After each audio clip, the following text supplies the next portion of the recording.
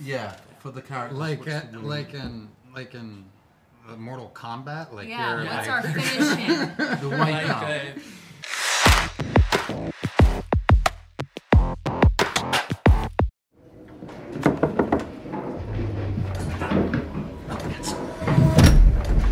Ciao, ciao.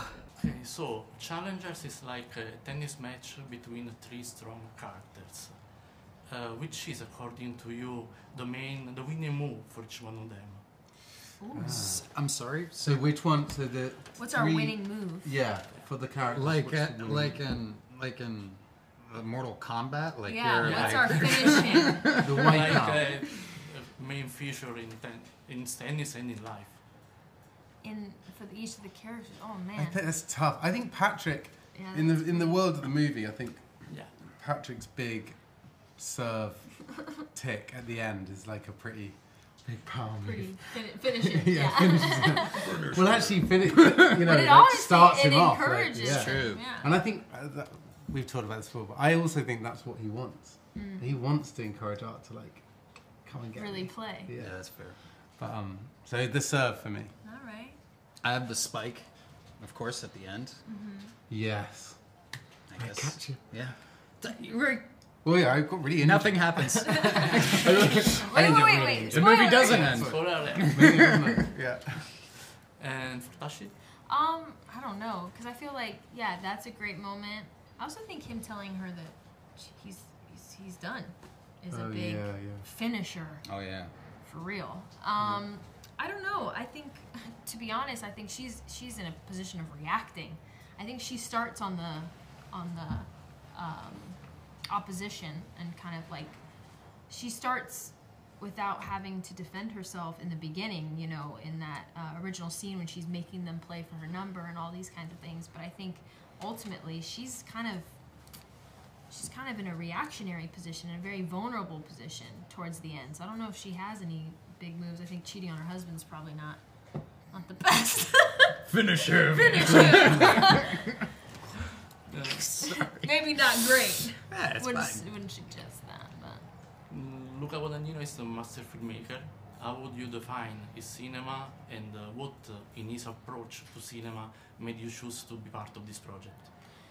oh man, I think it's character driven. All of Luca's movies are character driven, and he works with great actors, and he gets great actors because the stories are character driven, uh, and that's a very defining factor of his movies. I would uh, completely agree. I think he he also has a way of doing it really beautifully. And, and like you just want to live inside of his movies. I think something that um, I appreciated so much about how he captured tennis. I've never seen it be, be captured in this way. Um, the use of the camera and the movements and like you, you literally the the um, the tennis ball comes flying at your face. You know what I mean? It's very very visceral in that way, um, and I think that's a testament to to how he he sees things. Yeah, I, I also agree. I mean, I think like yeah, he's ultimately he's made so many incredible films, and as Mike said, you know, full of brilliant performances. He challenges actors. I think. I think he knows that you know he likes to work with actors that that are willing to push themselves into characters that aren't necessarily like them, but he believes in you in that way. You know, so that's a. But yeah, I just echo what they said. Uh, Patrick and Art are two different persons. uh, They're quite the opposite, actually. Fire and ice.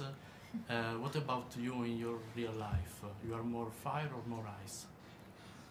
I'm like, Like a, a tepid water, Like a stream. Like a small stream. um, yeah, I don't know. I think at different times in my life, I've been different. You know, it's Elements. elements. Yeah. Yeah. um, it's in, which, do you know what's really funny is that as soon as we arrived, like to rehearse this film, we had the first few days, as with any job, it's like going to school for the first day, and you're like figuring each other out. We don't know. You know, I'd seen both of these actors like do amazing performances, and I was a little bit intimidated. And you know, you come in and then you realise that we're all intimidated by each other, and then that kind of all that just disappears. But I think um, what was immediately apparent is like none of us are like our characters, and that's which is so exciting because then you you know as soon as you start reading those scenes together and seeing it's such a privilege to see actors like transform into something else. Very Um, disarming. yeah, yeah. So I think uh, we're all a bit of fire, ice, and Everything in nice. between. everything in between. Mostly Fire, in ice, between. and everything nice. Everything nice. yeah. Uh, one last question. Uh, tennis and sports in general can be a metaphor of life in some ways. In this sense, competition can be the thing that, thi- that keeps us alive. Competition. Yes.